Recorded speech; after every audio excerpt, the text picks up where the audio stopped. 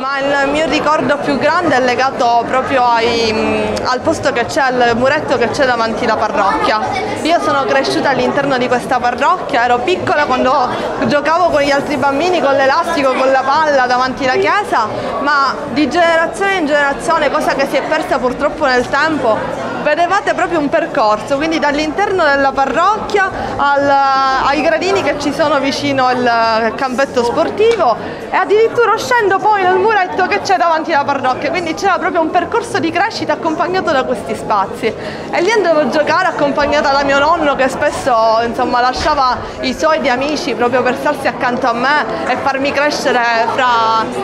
fra la fede ma soprattutto farmi crescere in una grande società quale quella dell'Orenella.